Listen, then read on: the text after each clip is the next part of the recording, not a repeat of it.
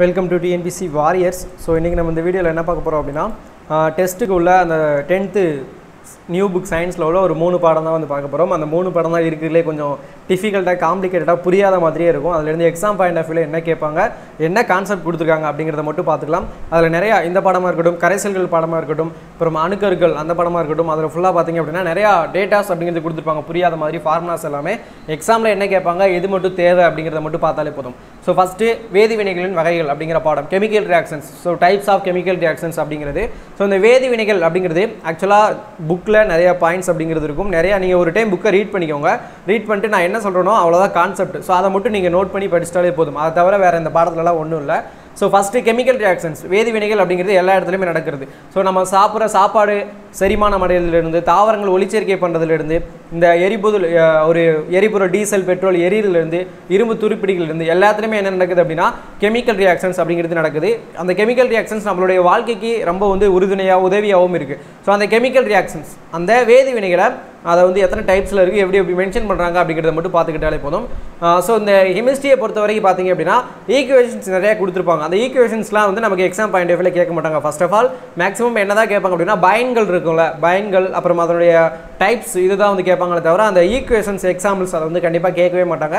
ஏன்னா ஒவ்வொரு கெமிக்கல் ரியாக்ஷனுக்குமே ஒவ்வொரு ஈக்குவேஷன்ஸ் அப்படிங்கிறது கொடுத்துருப்பாங்க. அது வந்து நீங்கள் ப்ரீவியஸ் இயர் கொஸ்டின் எடுத்து பார்த்தாலே தெரியும். அதெல்லாம் வந்து அவ்வளோ கேட்க மாட்டாங்க. அதனால் அதெல்லாம் போட்டு மக்கப் பண்ணி டைம் வேஸ்ட் பண்ணிடுறாங்க ஸோ என்ன கான்செப்ட் கொடுத்துருக்காங்க அப்படிங்கிறத மட்டும் நீங்கள் வந்து பார்த்துக்கோங்க. ஸோ ஃபஸ்ட்டு இந்த கெமிக்கல் ரியாக்ஷன் வேதி வினைகள் அப்படிங்கிறத எப்படி மென்ஷன் பண்ணுறாங்க அப்படின்னா ஸோ நம்ம பார்த்த மாதிரி ஃபஸ்ட்டு த தனிமங்கள் தனிம ஆவர்த்தன அட்டவணை அப்படிங்கிறத பார்த்துருப்போம். ஸோ தனிமம் அப்படிங்கிறத ஃபஸ்ட்டு ஃபஸ்ட்டு கண்டுபிடிச்சாங்க. இப்போ நூற்றி பதினெட்டு தனிமங்கள் அப்படிங்கிறது இருக்குது ஸோ ஒவ்வொன்றுக்குமே ஐயூபிஎஸ்சி பேர் அப்படிங்கிறது வச்சிருக்காங்க.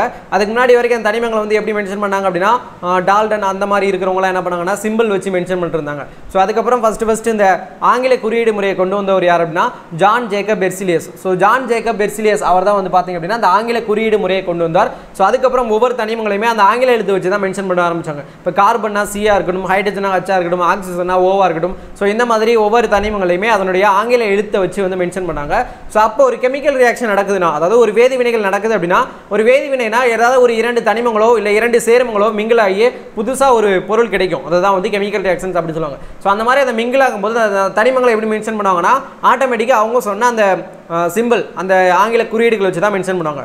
ஸோ இப்போ நார்மலாக மீத்தேனும் ஆக்சிஜனும் சேர்ந்து கார்பன் டை ஆக்சைடும் நீரும் கிடைக்குது. ஸோ இதை எப்படி மென்ஷன் பண்ணுறாங்க அப்படின்னா சிஹெச் ஃபோர் மீத்தனோட வாய்ப்பாடு அப்படின்னா சிஹெச் ஃபோர் ஆக்சிஜனோட வாய்ப்பாடு ஓட்டு தெரியும். அது சேர்ந்து கார்பன் டை ஆக்சைடு CO2 டூவும் ஹச் டூவும் கிடைக்கிறது ஸோ இந்த மாதிரி வந்து ஒரு கெமிக்கல் ரியாக்ஷனை வந்து இந்த மாதிரி குறி குறிப்பாங்க. ஸோ இந்த மாதிரி குறிச்சா மட்டும் போதுமா அப்படின்னா முடியாது. ஏன்னா ஒரு கெமிக்கல் ரியாக்ஷன் அப்படிங்கிறது ஈக்குவல் ஆகணும். ரெண்டு சைடுமே அதாவது வினைவிலை பொருளும் வினைப்படு பொருளும் சமமாக இருக்கணும். அதாவது வினை சாரி வினைப்படு பொருள். வினைப்படு பொருள் அப்படின்னா அந்த சைட்லேருந்து நம்ம கொடுக்குற பொருள். ரெண்டு பொருள் மிக்ஸ் ஆகுதுல ஸோ அதான் வினைப்படு பொருள் அப்படி சொல்லுவாங்க. அதுலேருந்து கிடைக்கக்கூடிய பொருள்களை தான் வந்து வினை விலை பொருள் அப்படின்னு சொல்லுவாங்க. ஸோ இந்த இரண்டு பொருட்களுமே என்ன ஆகணும் அப்படின்னா ஈக்குவல் ஆகணும். ஈக்குவல் ஈக்குவல் ஆனால் மட்டும்தான் அது வந்து ஒரு சமன் செய்யப்பட்ட வேதி வாய்ப்பாடு அப்படின்னு சொல்லி சொல்லுவாங்க. ஸோ இந்த மேலே உள்ள அந்த வாய்ப்பாடு அப்படிங்கிறது சமன் செய்யப்படலை. இன்னொன்று என்ன அப்படின்னா ஒரு வேதிவினை நடக்கும் பொழுது ஒரு புது வகையான அதாவது நம்ம பார்த்துருப்போம் தனிமம் அணு எல்லாமே ஒன்று தான் ஒரு புது வகையான ஒரு அணு உருவாகாது. ஆல்ரெடி இருக்கிற அணு கன்வெர்ட் ஆகும். அதனுடைய பிசிக்கல் கேரக்டர் மாறும் கெமிக்கல் கேரக்டர் மாறுமே தவிர ஒரு வேதி வினையில் என்ன ஆகாது அப்படின்னா புதுவையாக ஒரு அணுவை ஆக்கவோ அழிக்கவோ முடியாது. அதுதான் வந்து ஒரு பேசிக் கான்செப்ட் ஸோ அப்போ ஆல்ரெடி இருக்கிற அணுவை என்ன பண்ணலாம் அப்படின்னா வேற மாதிரி கூட்டிக்கலாம் குறைச்சிக்கலாம். ஸோ அதான் வந்து ஒரு கெமிக்கல் ரியாக்ஷனில் நடக்கும். ஸோ ஒரு எனவே ஒரு வேதி சமன்பாட்டில் வினைபடு பொருட்களின் அணுக்களின் எண்ணிக்கையும் வினை விலை பொருட்களில் உள்ள அணுக்களின் எண்ணிக்கையும் சமமாக இருக்க வேண்டும். ஸோ இதான் பேசிக் கான்செப்ட் ஒரு ஈக்குவேஷன் ஒரு கெமிக்கல் ரியாக்ஷனில் வினைபடு பொருளோட அணுக்களோட எண்ணிக்கையும் வினை விளைபொருளோட பொருளோட எண்ணிக்கையும் சமமாக இருக்கணும். ஸோ மேலே சொன்ன நம்ம ஃபார்முலாவில் பார்த்தீங்க அப்படின்னா சிஹெச் ஃபோர் ஓ டூ இருக்கா? ஸோ இந்த சைடு நீங்கள் சிஹெச் ஃபோர் ஒரு கார்பன் இருக்குது இந்த சைடும் ஒரு கார்பன் இருக்குது அப்படிங்கிறத நம்ம வந்து கரெக்டாக வச்சுக்கலாம். ஆனால் அந்த இடத்துல ஓட்டு எடுத்துக்கிட்டேன். இரண்டு ஆக்சிஜன் அப்படிங்கிறது இருக்குது ஸோ இங்கே இங்கே ஒரு இரண்டு ஆக்சிஜன் இங்கே ஒன்று மொத்தம் வந்து மூணு ஆக்சிஜன் இருக்குது ஸோ அப்போ வந்து ஈக்குவல் பண்ணலை. ஸோ அப்போ ஈக்குவல் பண்ணுறதுக்கு நம்ம என்ன பண்ணணும் அப்படின்னா இந்த சைடு ஒரு இரண்டை சேர்த்துக்கிட்டீங்க அப்படின்னா கரெக்டாக இருக்கும் ஸோ இப்போ இங்கே எத்தனை ஆக்சிஜன் இருக்குது அப்படின்னா நான்கு ஆக்சிஜன் அப்படிங்கிறது இருக்குது நான்கு ஆக்சிஜன் இருக்குது ஸோ சிஹெச் ஃபோர் ஒரே ஒரு சிஹெச் ஃபோர் மூலக்கூறு தான் இருக்குது நான்கு ஆக்சிஜன் இருக்குது ஸோ இந்த சைடு ஆல்ரெடி பார்த்தீங்க அப்படின்னா சி ஓ டூ அப்படிங்கிறது இருக்குது ஸோ இந்த இடத்துல ஹைட்ரஜன் பார்த்தீங்கன்னா நாலு இருக்குது இந்த இடத்துல ரெண்டு இருக்குது ஸோ அதனால் ஆல்ரெடி இங்கே ஒரு ரெண்டு போட்டிங்க அப்படின்னா ஈக்குவல் வரும் ஸோ இப்போ நீங்கள் இந்த இதில் நீங்கள் ஆக்சிஜன் எவ்வளோ இருக்குது ஹைட்ரஜன் எவ்வளோ இருக்குது அப்படின்னு நீங்கள் ஈக்குவல் பண்ணி பார்த்தீங்க அப்படின்னா எல்லாமே இந்த சமமாக இருக்கும். ஸோ இந்த மாதிரி நம்பர்ஸ் அப்படிங்கிறது நம்மளா போட்டு அடித்து சமன் செய்கிறது தான் ஸோ அதனால் அது ஒரு பெரிய இது கிடையாது. இந்த மாதிரி கொஸ்டின்ஸ் கேட்க மாட்டாங்க. ஜஸ்ட்டு உங்களுக்கு இந்த பாடத்தில் என்ன கொடுத்துருக்காங்க அப்படிங்கிறத மென்ஷன் பண்ணுறதுக்காக தான் இது சொல்கிறோம் ஸோ நார்மலாக ஒரு கெமிக்கல் ரியாக்ஷன் அப்படின்னா அதை அந்த மாதிரி ஆங்கில லெட்டரில் மென்ஷன் பண்ணிட்டு அதை சமன்படுத்தணும். அதுதான் வந்து மேட்ரு ஸோ அதுக்கப்புறம் என்ன அப்படின்னா அந்த கெமிக்கல் ரியாக்ஷன் ப்ராப்பரான கெமிக்கல் ரியாக்ஷன் அப்படின்னா அந்த ஒரு பொருள் இருக்குல்ல வினைபடு பொருளோ இல்லை வினை விளை பொருளோ நம்ம சொன்னோம்ல ஸோ அது எந்த இயற்பியல் நிலைமையில் இருக்குது அப்படின்னு சொல்லணும். இயற்பியல் நிலைமை அப்படின்னா என்ன ஃபிசிக்கல் கேரக்டரில் இருக்குது அப்படின்ட்டு. அது கேஸாக இருக்கா சாலிடாக இருக்கா லிக்யூடாக இருக்கா அப்படிங்கிறத வந்து கீழே மென்ஷன் பண்ணணும். ஸோ அதான் வந்து கொடுத்துருக்காங்க. நம்ம மேலே சொன்ன ஈக்குவேஷனில் சிஹெச் ஃபோர் அப்படிங்கிறது கேஸ் மீத்தேன் அப்படிங்கிறது கேஸ் ஆக்சிஜன் அப்படிங்கிறதும் கேஸ் சிஓ டூ அப்படிங்கிறதும் கேஸ். ஸோ ஹச் டூவில் நார்மலாக எடுத்துட்டீங்க அப்படின்னா அது வந்து ஃபுல்லாக லிக்யூடு தனியாக ஆக்சிஜன் எடுத்துக்கிட்டிங்கன்னா அது வந்து கேஸ் ஸோ இந்த மாதிரி வந்து தனித்தனியாக வந்து இது பண்ணணும். ஸோ இதை மாதிரி தான் கொடுத்துருக்காங்க. எஸ் அப்படின்னா சாலிடு மேலே உள்ள ஈக்குவேஷனுக்கு பார்த்தீங்கன்னா பொட்டாசியம் எப்பயுமே சாலிடாக தான் இருக்கும். அப்புறம் ஐ அப்படின்னா லிக்யூடு எதில் இருக்குது அக்யூட் ஐனா ஹச் டூ ஸோ லிக்யூடாக இருக்குது கேஸ் பார்த்தீங்க அப்படின்னா ஹச் டூ ஹைட்ரஜன் அப்படிங்கிறது கேஸாக இருக்குது கேஓஹெச் அந்த பொட்டாசியம் ஹைட்ராக்சைடு அப்படிங்கிறது எப்படி இருக்குது அப்படின்னா பொட்டாசியம் ஹைட்ராக்சைடு அப்படிங்கிறது ஒரு நீர் கரைசல் அதுதான் வந்து ஏக்யூ அப்படின்னு வந்து மென்ஷன் பண்ணியிருக்காங்க. ஸோ இதுதான் வேதி வினைகள் வேதி வினையோட மென்ஷன் பண்ணுறாங்க இதுலேருந்து கேட்க மாட்டாங்க ஜஸ்ட் புரிஞ்சுக்கோங்க. ஸோ அப்புறம் types of chemical reactions types of chemical reactions அப்படிங்கிறது பழைய புக்கில் இதே கான்செப்ட் தான் கொடுத்துருப்பாங்க. நான் என்ன சொல்கிறேன்னா இதில் என்ன கான்செப்ட் அப்படிங்கிறத மட்டும் நீங்கள் மைண்டில் வச்சுக்கோங்க. மற்றபடி இந்த கீழே ஒவ்வொன்றுக்குமே ஒரு எக்ஸாம்பிள் அப்படிங்கிறது கொடுத்துருப்பாங்க. ஒரு ஈக்குவேஷன் அப்படிங்கிறது கொடுத்துருப்பாங்க. அந்த ஈக்குவேஷனை நீங்கள் மக்க பண்ணணும்னு தேவையே கிடையாது. கேட்கவும் மாட்டாங்க. ஸோ ஃபஸ்ட்டு என்ன கொடுத்துருக்காங்கன்னா செயற்கை அல்லது கூடுகை வினை அப்படின்னு. செயற்கை அல்லது கூடுகை வினைனா ஒன்றும் கிடையாது. இரண்டு அல்லது அதற்கு மேற்பட்ட வினைபடு பொருட்கள் இணைந்து ஒரு சேர்மம் உருவாகும். நார்மலாக சொல்கிற மாதிரி தான் ஒன்று ரெண்டு இல்லைன்னா அதுக்கு மேற்பட்ட வினைபடு பொருள் அப்படின்னா நம்ம மிக்ஸ் பண்ணுற அந்த பொருட்கள் ஸோ அந்த வினைபடு பொருள் என்ன ஆகும் அப்படின்னா மிக்ஸ் ஆகி ஒரு சேர்மம் அப்படிங்கிறது உருவாகும். ஸோ அதுதான் வந்து கூடுகை வினை அப்படின்னு சொல்லுவாங்க. இப்போ எக்ஸாம்பிள் எடுத்துக்கிட்டிங்க அப்படின்னா அந்த சேர் ஃபஸ்ட்டு தனிமம்னா என்னென்னு பார்க்கணும் சேர்மம்னா என்ன பார்க்கணும்? ஸோ தனிமம் அப்படின்னா இதுக்கு முன்னாடி பார்த்தா ஒவ்வொருத்தவங்களும் ஒவ்வொரு மாதிரி சொல்லியிருப்பாங்க. ஒரு தூய அணுக்கள் அதான் தனிமம். பிரிக்க முடியாத அணுக்கள் அதான் தனிமம். இந்த மாதிரி சொல்லியிருப்பாங்க. தனிமம் அப்படின்னா பியூராக இருக்கும் பார்த்தீங்களா? அதான் தனிமம். ஹைட்ரஜன் அப்படின்னா அந்த ஹைட்ரஜன் தனிமம். ஆக்சிஜன் அப்படின்னா அந்த ஆக்சிஜன் அப்படிங்கிறது தனிமம். ஸோ இதுதான் தனிமம் அப்படிங்கிறது. சேர்மம்னா என்ன அப்படின்னா இரண்டு அல்லது அதற்கு மேற்பட்ட தனிமங்கள் இரண்டு அல்லது அதற்கு மேற்பட்ட தனிமங்கள் ஒரு குறிப்பிட்ட நிறைவு விதத்தில் சேர்ந்திருக்கும். நம்ம இதெல்லாம் வந்து பழைய நைன்த்தில் இருக்குது பழைய புக்லேயும் கொடுத்துருக்காங்க. ஸோ இரண்டு அல்லதற்கு மேற்பட்ட தனிமங்கள் ஒரு குறிப்பிட்ட நிறை விகிதத்தில் சேர்ந்திருக்கும். ஒரு குறிப்பிட்ட பர்டிகுலர் மாஸ் ரேஷியோவில் வந்து சேர்ந்திருக்கும். அதை தான் என்ன சொல்லுவாங்க அப்படின்னா சேர்மம் அப்படி சொல்லுவாங்க. ஸோ தனிமத்துக்கும் சேர்மத்துக்கும் இதுதான் வந்து டிஃப்ரென்ஸ் தனிமம் அப்படின்னா அது ஒரு பியூர் ஆப்ஜெக்ட் ஹைட்ரஜன் அப்படின்னா ஹைட்ரஜன் மட்டும்தான் இருக்கும். ஆக்சிஜன் அப்படின்னா ஆக்சிஜன் மட்டும்தான் இருக்கும்.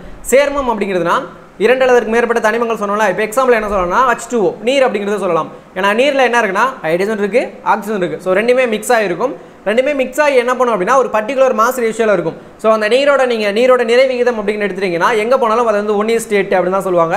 ஸோ அது வந்து நம்ம பழைய புக்கில் கொடுத்துருவாங்க நீரோட நிறை விகிதம் அப்படிங்கிறது ஸோ அந்த மாஸ் ரேஷியோ அப்படிங்கிறது மாறாது. ஸோ அதான் வந்து சேர்மம் அப்படி சொல்கிறாங்க புரியலன்னா பழைய புக்கில் இருக்குது இதான் சிம்பிள் கான்செப்ட் தனிமம்னா இதான் சேர்மம்னா இதான் அந்த மாதிரி. ஸோ அப்போ ஏதாவது ஒரு ரெண்டு பொருள் மிக்ஸ் ஆனால் கண்டிப்பாக நமக்கு என்ன கணக்கு கிடைக்கும். சேர்மம் அப்படிங்கிறது தான் வந்து கிடைக்கும். ஸோ அதுதான் வந்து சேர்க்கை வினை அப்படி நார்மலாக A plus B equal to AB அதுதான் வந்து ஒரு வாய்ப்பாடு. ஸோ இதை மறுபடியும் மூணு வகையாக பிரிச்சிருக்காங்க. எதை அப்படின்னா இந்த சேர்க்கை வினை அல்லது கூடுதல் வினையை ஒரு மூன்று வகையாக பிரிச்சிருக்காங்க. என்ன அப்படின்னா ஒரு ஃபர்ஸ்ட் ஆஃப் ஆல் வினைப்படு பொருளோட தன்மையை பொறுத்து. வினைப்படு பொருள்னா அதனுடைய கேரக்டர் பொறுத்து மூணாக பிரிச்சிருக்காங்க. ஃபஸ்ட் ஆஃப் ஆல் என்ன அப்படின்னா தனிமம் தனிமம். சேர்ந்துச்சுன்னா என்ன வரும்? சேர்மம் கிடைக்கும். ஸோ இது ஒன்று ஏதாவது ஒரு ரெண்டு பொருள் சேரணும் ஒரு ஆப்ஜெக்ட் கிடைக்கணும். ஸோ அது ஒன்று அது ஒரு டைப் ஒரு தனிமமும் இன்னொரு தனிமமும் சேர்ந்து என்ன கிடைக்கும்? சேர்மம் கிடைக்கும். ஸோ இது ஒரு வகையானது. எக்ஸாம்பிள் பார்த்தீங்க அப்படின்னா இந்த இடத்துல என்ன கொடுத்துருக்காங்கன்னா sulphur plus O two sulphur dioxide so இது வந்து ஒரு தனிமம். சல்ஃபர் அப்படிங்கிறது ஒரு தனிமம். ஓட்டு அப்படிங்கிறது ஒரு தனிமம். ஸோ ரெண்டுமே சேர்ந்து சல்ஃபர் டை ஆக்சைடும் கிடைக்கிறது. ஸோ இது ஒரு வகையானது. இன்னொன்று பார்த்தீங்க அப்படின்னா சேர்மம் ப்ளஸ் தனிமம். சேர்மம் ப்ளஸ் தனிமம். இந்த இடத்துல சேர்மம் அப்படிங்கிறது இதில் என்ன கொடுத்துருக்காங்கன்னா இந்த இடத்துல நீங்கள் HCl போட்டுக்கலாம் H2O போட்டுக்கலாம் எது வேணால் போட்டுக்கலாம். ஏன்னா சேர்மம் அப்படிங்கிறது ஆல்ரெடி இரண்டு தனிமங்கள் மிக்ஸ் ஆனதான் அதோட இன்னொரு தனிமம் சேர்ந்து இன்னொரு சேர்மம் அப்படிங்கிறது உருவாகும். கண்டிப்பாக எத்தனை வேணால் மிக்ஸ் ஆகலாம் அப்படிங்கிறது. ஸோ சேர்மம்னா என்ன தனிமம்னா என்ன அப்படிங்கிற கான்செப்ட் மட்டும் நீங்கள் நல்லா பார்த்து வச்சுக்கோங்க. ஆல்ரெடி ரெண்டு தனிமம் சேர்ந்து ஒரு சேர்மம் அப்படிங்கிறது உருவாகும். ஸோ அப்புறம் ஒரு சேர்மமும் தனிமமும் சேர்ந்து இன்னொரு சேர்மம் அப்படிங்கிறது உருவாகும். எக்ஸாம்பிள் வந்து பிசிஎல் த்ரீ பாஸ்பரஸ் ட்ரைக்ளோரைடு சேர்ந்து குளோரினோட சேர்ந்து பாஸ்பரஸ் பெண்டா குளோரைடு அப்படிங்கிறது வந்து உருவாகும். ஸோ அதுக்கப்புறம் இரண்டு சேர்மம். ரெண்டு சேர்மம் சேர்ந்து இன்னொரு சேர்மத்தையும் வந்து உருவாக்கும். அதுவும் வந்து ஒரு வகையான சேர்க்கை வினை அப்படிங்கிறது. நமக்கு சேர்க்கை வினையில மேலே சொன்ன மாதிரி ரெண்டு வினைபடு பொருள் சேர்ந்து ஒன்று கிடைக்கும். A plus B equal to AB அவ்வளோதான் கான்செப்ட் ஸோ இதை ஞாபகம் வச்சுக்கோங்க. இதை தவிர இது நீங்கள் இந்த இதில் வந்து எவ்வளோ தேவையில்லை. ஸோ அதுக்கப்புறம் சிதைவு வினைகள். சிதைவு வினைனா அடுத்த டைப் என்னென்னா சிதைவு வினை ஒரு கெமிக்கல் ரியாக்ஷன் ஒரு மிங்கிளாக இருக்கிற ஒரு பொருளை உடச்சி தனியாக பிரிக்குது. அதுதான் வந்து சிதைவு வினை அப்படின்னு சொல்கிறாங்க ஸோ ஏபி அப்படின்னு இருக்கிறத தனியாக பிரித்து ஏ ப்ளஸ் பி அப்படின்னு வந்து ஒரு வினை விளை பொருளாக கொடுக்குது. ஸோ அதை தான் வந்து சிதைவு வினைகள் அப்படின்னு சொல்கிறாங்க ஸோ இந்த சிதைவு வினைகள் எந்த மாதிரி ரீசன்ஸ்னால நடக்குது? எதனால வந்து சிதைவு வினைகள் அப்படி நடக்குது? ஸோ ஃபஸ்ட்டு வெப்ப சிதைவு வினைகள். வெப்ப சிதைவு வினைகள்னா ஹீட் மூலமாக நம்ம ஒரு ஒரு ஆப்ஜெக்ட் ஒரு ஒரு வினைப்படு பொருளை நீங்கள் ஒரு ஹீட் பண்ணீங்க அப்படின்னா அது ரெண்டாக உடஞ்சிரும். ஸோ அது ஒன்று இன்னொன்று மின்னார் சிதைவு வினைகள். கரண்ட் கொடுக்கறது மூலமாக கரண்ட் கொடுக்கறது மூலமாக அந்த பொருள் பிரிஞ்சிரும். அது ஒன்று இன்னொன்று ஒளி சிதைவு வினைகள்.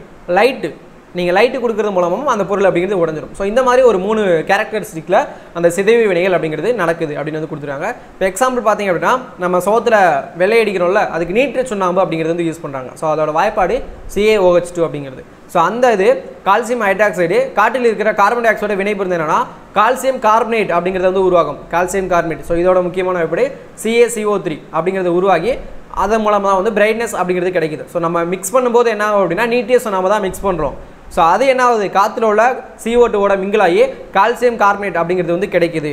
ஸோ அப்படிங்கிறது வந்து கொடுத்துருக்காங்க. ஸோ சுண்ணாம்புக்களோட வேதி வாய்ப்பு ரொம்ப ரொம்ப இம்பார்ட்டன்ட் இதெல்லாம் நம்ம அமிலங்கள் காரங்களில் படிச்சிருப்போம். அதனுடைய பயன்கள் என்ன அப்படிங்கிறது ரொம்ப ரொம்ப இம்பார்ட்டன்ட் சுண்ணாம்புக்களோட வேதி வாய்ப்பாடு CAO CACO sorry CACO three அப்படிங்கிறது. ஸோ அதுக்கப்புறம் மேலே சொன்ன அதே ரீசன்ஸ்னால தான் வந்து இந்த சிதைவினைகள் அப்படிங்கிறது. ஃபஸ்ட்டு வெப்ப சிதைவு வினைகள் ஸோ வெப்பம் கொடுக்கறது மூலமாக அந்த பொருள் பிரிஞ்சு ரெண்டாக கிடைக்கிறது அப்படிங்கிறது. ஸோ அதுக்கு பார்த்தீங்கன்னா மேக்ஸிமம் இந்த மாதிரி இதில் என்ன ஆகும் அப்படின்னா வெப்பம் கொடுக்கறது மூலமாக அந்த வெப்பத்தை அது என்ன பண்ணும்? அப்சர்வ் பண்ணி தான் அது வந்து ரெண்டாக பிரியும். ஸோ அதனால் அது வந்து வெப்ப கொள்வினைகள் அப்படின்னு சொல்லுவாங்க. அப்சர்வ் பண்ணி தான் அது ரெண்டாக உடைய போகுது. ஸோ அதனால் அது வந்து வெப்ப கொள்வினைகள் அப்படின்னு சொல்லுவாங்க. இன்னொன்று கண்டிப்பாக அந்த ஈக்குவேஷன்ஸ்லாம் தேவையில்லை. அதனால் நீங்கள் பார்க்காதீங்க. ஏன்னா படித்தாலும் வேஸ்ட்டு தான் கேட்க மாட்டாங்க. ஜஸ்ட் அது என்ன கான்செப்ட் என்னங்கிறத மட்டும் பார்த்து வச்சுக்கோங்க. அப்புறம் மின்னார் சிதைவு வினைகள். மின்னார் சிதைவு வினைகள் அப்படின்னா ஒரு கரண்ட் ஒரு இதை கொடுக்கறது மூலமாக அது வந்து அந்த பொருள் பிரிஞ்சிடும். இப்போ சோடியம் குளோரைடு கரைசலில் கரண்ட்டை நீங்கள் பாஸ் பண்ணும்போது சோடியம் தனியாகவும் குளோரைடு தனியாகவும் பிரிஞ்சிடும். ஸோ அது ஒன்று இன்னொன்று ஒளிச்சிதைவு வினைகள். இப்போ எக்ஸாம்பிள் பார்த்தீங்கன்னா சில்வர் ப்ரோமைடு அப்படிங்கிறத நீங்கள் லைட்டில் வச்சிங்க அப்படின்னா அது என்ன ஆகும் அப்படின்னா அது கலர் அப்படிங்கிறது வந்து மாறிடும். இது காரணம் வந்து அதுதான். லைட் லைட் நீங்கள் பாஸ் பண்ணும்போது. டூ ஏஜி பிஆர் கொண்டு எப்படி மாறிடும்? தனித்தனியாக போயிடும் two AG plus BR two அப்படிங்கிறது வந்து மாறிடும். சில்வர் தனியாக ப்ரோமைடு தனியாக வந்து மாறிடும். ஸோ இது வந்து லைட் கொடுக்கறது மூலமாக ஸோ ஒரு பொருள் பி ரெண்டாக பிரியிறதுக்கு காரணம் வெப்பம் கரண்ட் லைட்டு இதுதான் கான்செப்ட் ஸோ அதுக்கப்புறம் ஒற்றை இடப்பெயர்ச்சி வினைகள்.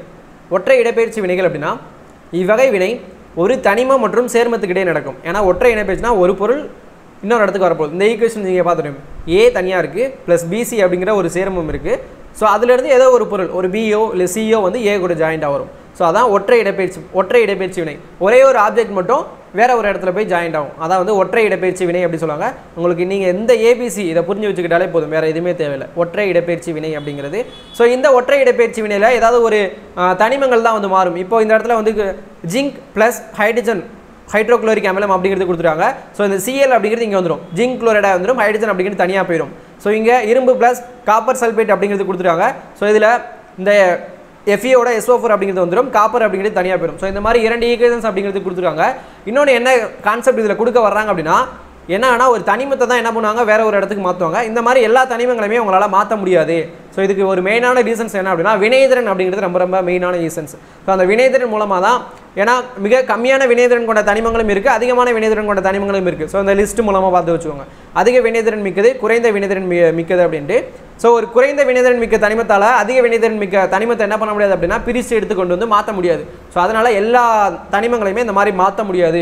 இதுக்கு காரணம் வினைதிறன் அதுதான் வந்து ரொம்ப ரொம்ப இம்பார்ட்டண்டானது அப்படின்னு கொடுத்துருக்காங்க. அது ஜஸ்ட் என் அப்படி ஜஸ்ட் இது வினைதிறன் அப்படிங்கிறது ஒரு முக்கியம் அப்படிங்கிறத மட்டும் தெரிஞ்சு வச்சுக்கோங்க. நார்மலாக மேலே ஒற்றை இடைப்பயிற்சி வேணும்னா அதுதான். ஸோ ஒரு தனிமம் இன்னொருத்தோட வந்து ஜாயின் ஆகும். அதுதான் வந்து மேட்ரு ஸோ அதுக்கப்புறம் இரட்டை இடைப்பயிற்சி வினை. ஃபஸ்ட்டு மேலே பார்த்த மாதிரி ஒற்றை இடைப்பயிற்சி வினை இது வந்து இரட்டை இடைப்பயிற்சி வினை. இரண்டு சேர்மங்கள் வினையும் புரியும் பொழுது அவற்றின் அயனிகள் பரிமாற பரிமா பரிமாற பரிமாறிக்கொள்ளப்படுகிறது. ஸோ இப்போ எக்ஸாம்பிள் எடுத்துக்கிட்டிங்க அப்படின்னா இதே தான் ஏபி ப்ளஸ் சிடி அப்படிங்கிறது இருக்குது ஸோ இதோட சேர்ந்து பிசியாவும் ஏவும் டியும் சேர்ந்து ஏடியாவும் வரும். ஸோ இந்த இடத்துல ரெண்டு இது அப்படிங்கிறது ட்ரான்ஸ்ஃபர் ஆகுது. அதான் வந்து இரட்டை இடப்பெயர்ச்சி வினைகள் அப்படின்னு சொல்கிறாங்க ஸோ இதுக்கு மெயினான ரீசன்ஸ் என்ன சொல்கிறாங்க அப்படின்னா ஒன்று ஒன்று அது என்ன ஸ்டேஜில் நடக்குன்னா ஒன்று வீழ்படிவாக்கல் நிலையில் நடக்கும். இன்னொன்று நடுநிலையாக்கல் வினையில் நடக்கணும் அப்படின்னு சொல்கிறாங்க ஒன்று வீல் படிவாக்கல் வினை இன்னொன்று நடுநிலையாக்கல் வினை அப்படிங்கிறது நடக்கணும் அப்படி சொல்கிறாங்க ஸோ வீல் படிவாக்கல் வினை என்ன அப்படின்னா இரு சேர்மங்களின் நீர்க்கரசல்களை கலக்கும் பொழுது அவை வினை புரிந்து நீரில் கரையாத ஒரு விளைபொருளும் நீரில் கரையும் ஒரு விளைபொருளும் தோன்றினால் அவ்வினை தான் வீல் படிவாக்கல் வினை. அதாவது என்னன்னா ரெண்டு சேர்மம் எடுத்துக்கிறீங்க. அந்த சேரும் ரெண்டுமே லிக்யூடு கரைசலாக தான் இருக்குது நீர்ம கரைசலாக தான் இருக்குது ஸோ அதில் பார்த்தீங்க அப்படின்னா அவன் வினை புரிந்து நீரில் கரையாத ஒரு விளைபொருளும் கரையாமல் வந்து இந்த மாதிரி என்ன ஆகும் அப்படின்னா கீழே தங்கி இருக்கணும். அந்த மாதிரி ஒன்றும் நீரில் கரைஞ்சு ஒன்று இருக்கணும். ஸோ அந்த மாதிரி நடக்கிறதா வந்து வீல் படிவாதல் வினை. அதன் மூலமாக ரெண்டு இது வந்து டிரான்ஸ்ஃபர் ஆகிக்கும் அப்படின்னு வந்து சொல்கிறாங்க ஸோ இதுதான் வந்து வீல் படிவாக்கல் வினை. ஸோ அதுக்கப்புறம் நடுநிலையாக்கல் வினை. நடுநிலையாக்கல் வினை நம்ம அமிலங்கள் காரங்கள்லேயே வந்து பார்த்துருப்போம். என்னத்தை அப்படின்னா ஒரு அமிலத்தையும் ஒரு காரத்தையும் தொடர்ந்து நடுநிலையாக்கும் பொழுது நமக்கு என்ன கிடைக்குது? உப்பும் நீரும் அப்படிங்கிறது கிடைக்குது. ஸோ அமிலம் அப்படிங்கிறது ஒரு சேர்மம் காரம் அப்படிங்கிறது ஒரு சேர்மம். இரண்டு சேர்மங்களை நடுநிலையாக்கும் போது என்ன கிடைக்குது அப்படின்னா ஒரு உப்பும் ஒரு நீரும் அது ரெண்டுமே வந்து மாறிக்கும். நம்ம பார்த்த மாதிரி என்ஏஓஹெச் ப்ளஸ் HCl ஸோ இதில் ரெண்டுமே மாறுது. அதனால் இது என்ன சொல்கிறாங்கன்னா இரட்டை இடப்பெயர்ச்சி வினைக்கு ஒரு எக்ஸாம்பிளாக வந்து சொல்கிறாங்க ஸோ இரட்டை இடப்பெயர்ச்சி வினை அப்படின்னா வீழ்படிவாக்கல் வினையும் நடுநிலையாக்கல் வினை. ஸோ இந்த ரெண்டு மூலமாக நடக்குது. ஸோ இவ்வளோ தான் டைப்ஸ் ஆஃப் வினை. ஸோ அதுக்கப்புறம் லாஸ்ட்டாக உள்ளது என்ன அப்படின்னா எரிதல் வினை. ஸோ ஒரு எரிதல் வினையில் வினைபெடு பொருள் மிகவும் விரைவாக ஆக்சிஜனுடன் சேர்ந்து எரிந்து அல்லது பல ஆக்சைடுகள் உருவாக்கும். எனவே மேக்ஸிமம் பார்த்திங்க அப்படின்னா எரிதல் வினைனா ஒரு கெமிக்கல் ரியாக்ஷன் நடக்கும்போது அது ஆக்சிஜன் எடுத்துக்கும். ஸோ வினைபடு பொருளை ஒன்று ஆக்சிஜனாக தான் கண்டிப்பாக இருக்கணும். ஏன்னா அந்த இடத்துல நமக்கு என்ன தேவை எரிதல் அப்படிங்கிறது தேவைப்படுது. ஸோ அதனால் வினைபடு பொருளை கண்டிப்பாக ஆக்சிஜன் அப்படிங்கிறது இருக்கணும். ஸோ அந்த ஆக்சிஜனோட மிக்ஸ் ஆகி எரிஞ்சு வந்து ஒரு வினைவிலை பொருள் அப்படிங்கிறது கிடைக்கும். ஸோ அதை தான் வந்து எரிதல் வினைகள் அப்படின்னு சொல்கிறாங்க மேக்ஸிமம் வந்து இரும்பு துருப்பிடிக்கிறது. இந்த மாதிரி இருக்கிறதுலாம் ஆக்சிஜன் ஏற்ற வினைகள் அப்படின்னு சொல்கிறாங்க ஸோ மேற்கூறிய வினையில் வெப்பம் உருவாதால் இது வந்து ஒரு வெப்ப உமிழ் வினை. நம்ம இதுக்கு முன்னாடி பார்த்துருப்போம். வெப்பத்தின் மூலமாக சிதைக்கிற வினை. அதில் வந்து வெப்பம் கொள்வினை இது வந்து ஒரு வெப்பம் உமிழ் வினை. இப்போ எக்ஸாம்பிள்னா இந்த எல்பிஜி எரியறது. இது எல்லாமே வந்து இதுக்கு எக்ஸாம்பிள் தான். இது அப்படின்னா எரிதல் வினைக்கு வந்து எக்ஸாம்பிள் ஸோ அதுக்கடுத்து பார்த்தீங்க அப்படின்னா வினையோட திசைகள். திசைகளை பொறுத்து அதை வந்து ரெண்டாக பிடிச்சிருக்காங்க மீள் வினைகள் மீளா வினைகள் அப்படிங்கிறது. இதுதான் ரொம்ப ரொம்ப இம்பார்ட்டன்ட் ரிவர்சபிள் இர்ரிவர்சபிள் ரியாக்ஷன்ஸ் நம்ம மேலே பார்த்த மாதிரி அந்த செயற்கை வினை சிதைவு வினை ஒற்றை இடப்பெயர்ச்சி வினை இரட்டை இடைப்பயிற்சி வினை அவ்வளோதான் டாபிக் அதில் என்ன கொடுத்துருக்காங்க அப்படிங்கிறத மட்டும் பார்த்து வச்சுக்கோங்க. அவ்வளோதான் அதை தவிர வேறு எக்ஸாம் பாயிண்ட் ஆஃப் அதில் ஒன்றும் இல்லை. ஸோ அப்புறம் மீள் வினை. மீள் வினை அப்படின்னா ஒன்றும் கிடையாது. ஒரு இரண்டு பொருள் ஒரு வினைபடு பொருள். அது ஜாயின் பண்ணி ஒரு வினை விளை பொருளை கொடுக்கும். திருப்பி நீங்கள் அந்த ஒரு வினை வினை வினை விளை பொருளை வந்து நீங்கள் திருப்பி அதை பிரித்தாலும் என்ன கிடைக்கும்னா நமக்கு கொடுத்த பொருள் திருப்பி கிடைக்கும். திருப்பி அந்த பொருள் இப்போ நம்ம ஒரு காசு கொடுத்து ஒன்று வாங்குறோம். திருப்பி நம்ம அந்த பொருளை கொடுத்தாலும் அவங்க அந்த காசு தருவாங்க. அந்த மாதிரி தான் அந்த மீள் வினைகள் அப்படிங்கிறது. திருப்பி அந்த பொருள் நமக்கு வந்து கிடைக்கும். ஸோ மீள் வினைகள் அப்படிங்கிறது. மீளா வினையில் அந்த பொருள் அப்படிங்கிறது கிடைக்காது. இப்போ எக்ஸாம்பிள் பார்த்தீங்கன்னா இந்த பிசிஎல் ஃபைவ் அப்படிங்கிறது இருக்குது so PCL three phosphorus pentachloride அப்படிங்கிறத உடச்சிங்கன்னா பாஸ்பரஸ் ட்ரை குளோரைடும் குளோரினும் கிடைக்கும். திருப்பி இதை நீங்கள் மிக்ஸ் பண்ணிங்கன்னா என்ன கிடைக்கும்? பாஸ்பரஸ் பெண்டா குளோரைடு அப்படிங்கிறது இருக்கும். ஸோ இதை தான் வந்து மீள் வினை அப்படின்னு சொல்கிறாங்க மீளா வினைனா அந்த பொருள் திருப்பி வராது. இப்போ எக்ஸாம்பிள் நிலக்கரி கார்பன் இருக்குது ஆக்சிஜன் அப்படிங்கிறது இருக்குது ஸோ இது ரெண்டையும் மிக்ஸ் பண்ணிங்கன்னா என்ன கிடைக்கும்? கார்பன் டை ஆக்சைடு அப்படிங்கிறது கிடைக்கும். ஸோ இந்த கார்பன் டை ஆக்சைடை நீங்கள் திருப்பி என்ன பண்ண முடியாது? ஒரு நிலக்கரியாவோ திருப்பி ஆக்சிஜனாவோ உங்களால் உருவாக்க முடியாது. அதுதான் மீளா வினை அப்படின்னு சொல்கிறாங்க ஜஸ்ட் கான்செப்ட் இதுதான். அந்த பொருள் திருப்பி கிடைச்சிச்சுன்னா அது வந்து மீள் வினை. திருப்பி கிடைக்காது அப்படின்னா அது வந்து மீளா வினை அப்படிங்கிறது. ஸோ அதுக்கப்புறம் பார்த்தீங்க அப்படின்னா வேதி வினையோட வேகம். வேதி வினையோட வேகம் அப்படின்னு கொடுத்துருக்காங்க ஸோ இது என்ன வேதி வினையோட வேகம் அப்படின்னா ஃபஸ்ட்டு எடுத்துக்கிற மாதிரி ஒரு நூறு கிராம் ஒரு வேதிப்பொருள் எடுத்துக்கோங்க. ஃபஸ்ட்டு ஒரு ஒரு மணி நேரத்துக்கு ஒரு ஃபஸ்ட்டு ஒரு கெமிக்கல் ரியாக்ஷனில் ஐம்பது கிராம் அந்த வேதிப்பொருள் அப்படிங்கிறது மீதமாக இருக்குது ஐம்பது கிராம் வேதிப்பொருள் வினை வினை வந்து உட்பட்டுருச்சு. ஸோ இன்னொரு ஒரு கெமிக்கல் ரியாக்ஷனில் அந்த நூறு ஒரு மணி நேரத்துக்கு இருபது கிராம் மட்டும்தான் எஞ்சிருக்கு எண்பது கிராம் வந்து என்ன ஆயிடுச்சு வினைப்பட்டுச்சு. ஸோ இப்போ இது இந்த ரெண்டில் எந்த வினை அதிகமாக நடக்குது அப்படின்னா அந்த சியை தான் சொல்லுவீங்க. ஏன்னா அதில் தான் அதிகமாக அந்த எண்பது கிராம் அப்படிங்கிறது வினைப்பட்டுச்சு. ஸோ வினைப்படு வேகம் அல்லது அந்த இது என்ன அப்படின்னா அந்த கெமிக்கல் ரியாக்ஷன்ஸ் வேகமாக நடக்கும். வேகமாக நடக்கிறத பொறுத்து அது வந்து வினைப்படு வேகம் அப்படி சொல்கிறாங்க ஸோ அதுக்கான ஃபார்முலா எடுத்துக்கிட்டிங்க அப்படின்னா வேகம் equal to minus DA by DT அந்த இடத்துல டிஏ அப்படின்னா என்ன சொல்கிறாங்கன்னா ஃபஸ்ட்டு நம்ம வினைப்படு பொருள் இருக்குல்ல அந்த வினைப்படு பொருள் அதை தான் வந்து சொல்கிறாங்க ஏன்னா அது போக போக குறைஞ்சிட்டே தான் போகும். ப்ளஸ் டிபி பை டிடி அது வந்து வினை விலை பொருள். வினை விலை பொருளோட செறிவு அது வந்து கூட்டிகிட்டே தான் போகும். அதுதான் சொல்கிறாங்க வேதிவினையோட வேகம் அப்படிங்கிறது. ஜஸ்ட் வேதிவினையோட வேகம்னா அந்த கெமிக்கல் அந்த வேதிவினைகள் நடக்கிறத அந்த கெமிக்கல் ரியாக்ஷன் நடக்கிறதோட ஸ்பீடு அதை தான் மென்ஷன் பண்ணுறாங்க ஸோ அப்புறம் வேதிவினையோட வேகத்தை பாதிக்கிற காரணிகள். என்னென்ன? இந்த இந்த ஈக்குவேஷன்ஸ் அப்படிங்கிறது ஜஸ்ட்டு பார்த்து வச்சுக்கோங்க. ஸோ அப்புறம் இந்த வேதிவினை நடக்கிறது என்னென்ன பாதிக்கிற காரணிகள்? என்னென்ன காரணிகள் அப்படிங்கிறது பாதிக்குது. ஃபஸ்ட்டு வினைபடு பொருளின் தன்மை. வினைபடு பொருளின் தன்மை. என்ன வினைபடு பொருளின் தன்மை அப்படின்னா அந்த வினைபடு பொருள் வினைதிறன் மிக்கதாக இருந்துச்சு அப்படின்னா அதோடைய வினைதிறன் அப்படிங்கிறது அதிகமாக இருந்துச்சு அப்படின்னா அது ஸ்பீடாக நடக்கும். கம்மியாக இருந்துச்சு அப்படின்னா கம்மியாக நடக்கும். ஸோ அது ஒன்று வினைபடு பொருளின் தன்மை. இன்னொன்று வினைப்படு பொருளின் செறிவு. இந்த இடத்துல செறிவு செறிவு நிறைய இடத்துல மென்ஷன் பண்ணாங்க. செறிவுனா என்னென்னா எக்ஸாம்பிள் பார்த்தீங்கன்னா கம்மியாக இருக்கிறதுக்கும் நிறையா இருக்குது. நிறையா ஊற்றுனா அதிகமாக இருக்குன்னு சொல்லலாம் அந்த மாதிரி. ஏன்னா டென்சிட்டி அடர்த்தி குவான்டிட்டி இந்த மாதிரி கூட வச்சுக்கலாம். செறிவு அப்படின்னா அந்த மீனிங்கில் தான் வரும். ஸோ செறிவு அப்படிங்கிறது. ஸோ அப்போ வினைப்படு பொருள் செறிவு அதிகமாக இருந்துச்சு அப்படின்னா அதனுடைய வினை வேகமும் என்ன இருக்கும்? அதிகமாக இருக்கும். ஸோ வினைப்படு பொருளோட செறிவு அப்படிங்கிறது. ஸோ அப்புறம் வெப்பநிலை. வெப்பநிலை உயரும் பொழுது வினையின் வேகமும் அதிகரிக்கும். ஏன்னா பார்த்தீங்க அப்படின்னா இந்த ஹீட்டை நீங்கள் அதிகமாக கொடுத்தீங்கன்னா ஒரு சில சிதைவு வினைகள் என்ன ஆகும் டக்குன்னு பிரிஞ்சு டக்குன்னு நடக்கும். அப்போ வினை வேகம் வந்து அதிகமாயிரும். ஸோ வெப்பநிலை ஒரு கான்செப்ட் வெப்பநிலை உயரும் போது வினை வேகமும் வந்து அதிகரிக்கும்.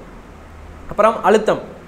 அழுத்தம் பார்த்தீங்கன்னா வாயு நிலையில் உள்ள வினைப்படு பொருள் அழுத்தம் அதிகரிக்கும் இருக்கும்போது என்ன ஆகும்னா இப்போ நீங்கள் அதிகமாக ஒரு ஒரு கூல்ட்ரிங்க்ஸில் நீங்கள் அதிகமாக வந்து ப்ரெஷர் பண்ணீங்க அப்படின்னா அது வந்து வினை வேகமும் அதிகமாயிரும். ஸோ அது வந்து வினையின் வேகம் அதிகரிக்கும். மெயினாக வந்து அழுத்தம் அதிகரிக்கும் போது வினையின் வேகமும் அதிகரிக்கும். அப்புறம் வினையூக்கி வினையூக்கி என்ன அப்படின்னா நார்மலாக ஒரு வினையோட வேகத்தை அதிகப்படுத்துறதுக்காக யூஸ் பண்ணுற இன்னொரு ஒரு கெமிக்கல் பொருள் தான் வினையூக்கி அப்படின்னு சொல்லுவாங்க.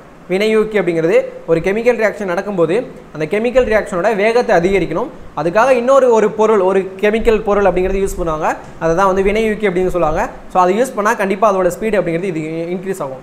இன்னொன்று வினைப்படு பொருளின் புறப்பளவு வேதி வினையில் இப்போ கட்டியாக இருக்கிற ஒரு வினைப்படு பொருளும் ரொம்ப தூளாக்கப்பட்ட வினைப்பொருளும் எடுத்துக்கிட்டிங்கன்னா எது ஸ்பீடாக ரியாக்ட் ஆகும்? தூளாக்கப்பட்டதான் ரியாக்ட் ஆகும். ஸோ அப்போ அந்த வினைப்படு பொருளோட புறப்பல புறப்பரப்பளவும் அப்படிங்கிறது வந்து யூஸாக இருக்கும். ஸோ இதெல்லாம் வந்து அந்த வினை வேகத்தை பாதிக்கிற காரணிகள். சப்போஸ் கேட்கலாம் மேபி ஸோ அதுக்கப்புறம் சமநிலை. சமநிலை என்ன அப்படின்னா நம்ம ஃபஸ்ட்டு பார்த்த மாதிரி ரிவர்சபிள் ரியாக்ஷன்ஸ் அப்படிங்கிறது பார்த்தோமா? ஸோ ஒரு பொருள் முன்னோக்கு வினையும் முன்னோக்கு வினையிலேருந்து பின்னோக்கு வினைக்கான பொருள் அப்படிங்கிறது கிடைக்கும். ஸோ அதான் சமநிலை.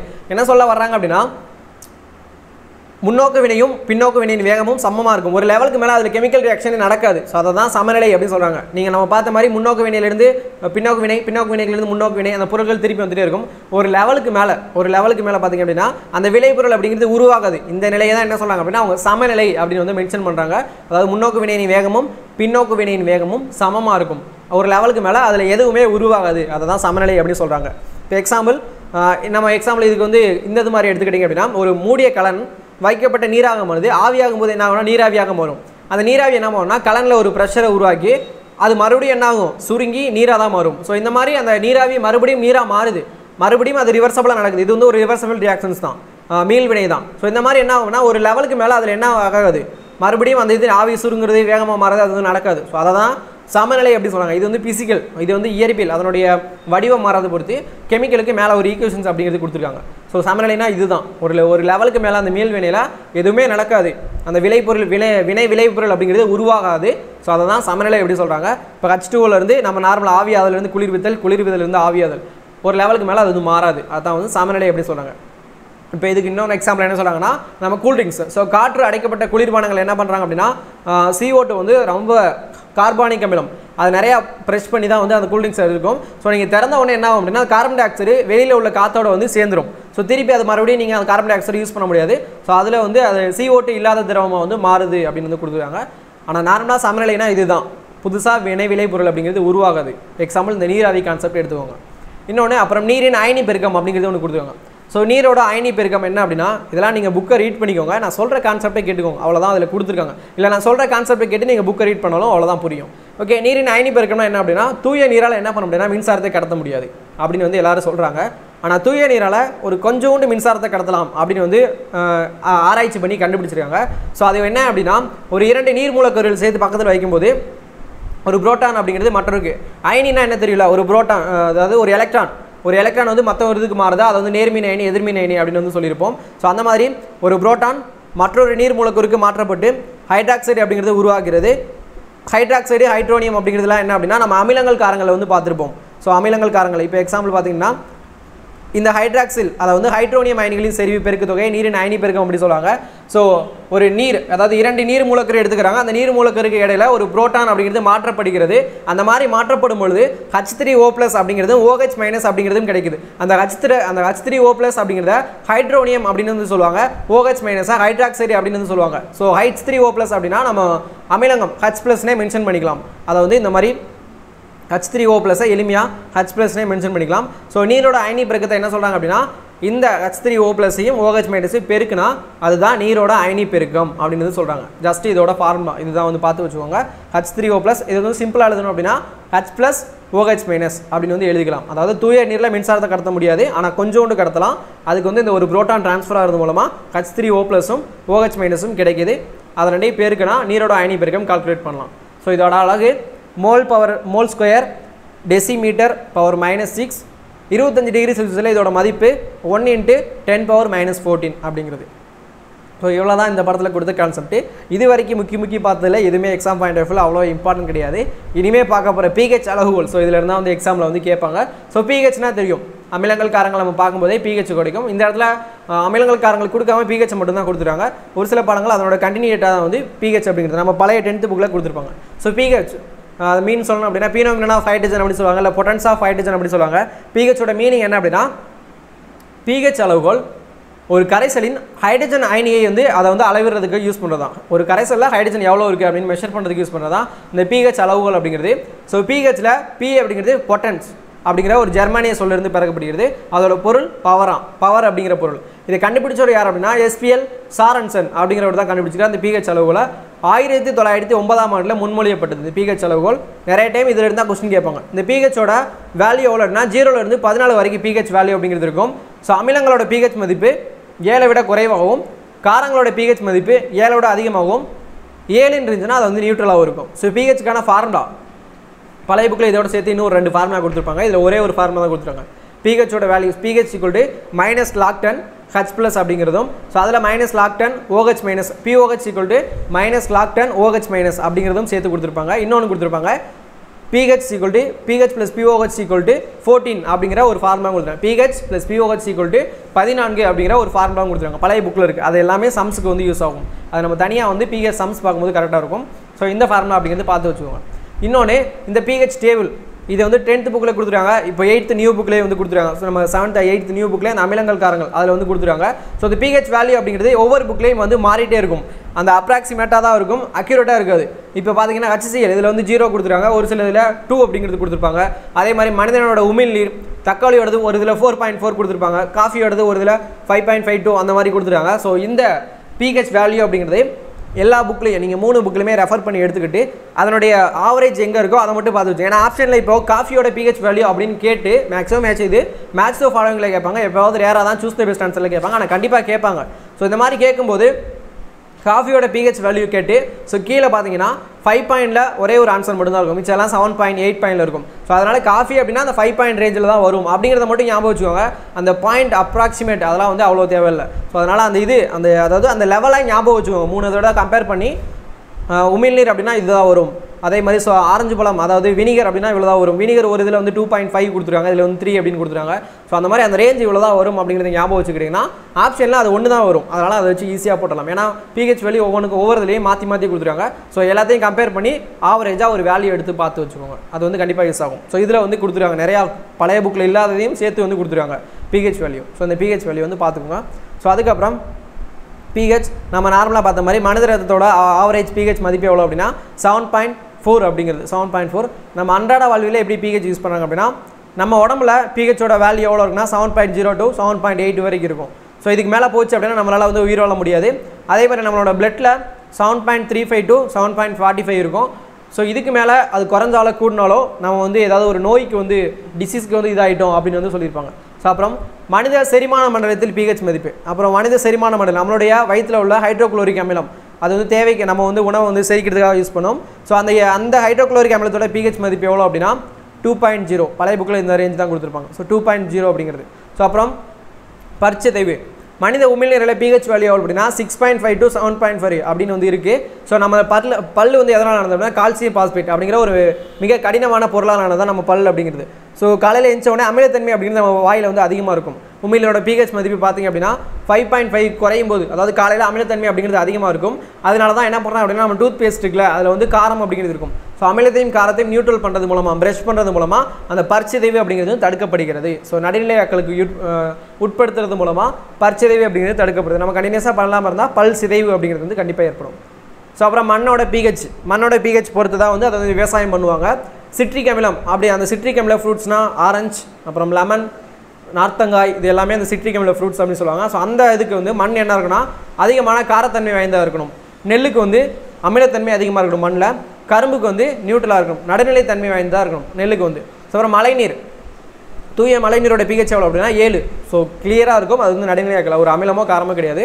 அந்த மழைநீரோட இது ஏழை விட கம்மியாகும் போது என்ன அப்படி அப்படின்னா அதில் அதை ஏழை விட கம்மியாக எதுக்காகுது அப்படின்னா அதில் sulphur dioxide nitrogen dioxide இந்த மாதிரி வாயுக்கள் மழைநீரில் மிக்ஸ் ஆகிறது மூலமாக ஏழை விட கம்மியாகும். அதனால தான் வந்து அமிலமலை அப்படிங்கிறது வந்து பெய்யறதுக்கான காரணம். இது வந்து நீர்வாழ் உயிரினங்களை ரொம்ப பாதிக்கும். இந்த அமிலமலை அப்படிங்கிறது நீர்வாழ் உயிரினங்களை ரொம்ப வந்து பாதிக்கும். அப்புறம் பிஹெச் பார்த்தீங்கன்னா சம்ஸ் இருக்குது ஸோ இவ்வளோ தான் இந்த பாடத்தில் உள்ள இம்பார்ட்டன்ட் இது. ஸோ அதுக்கப்புறம் நம்ம இன்னொரு பாடத்தில் பார்க்கலாம். Okay thank you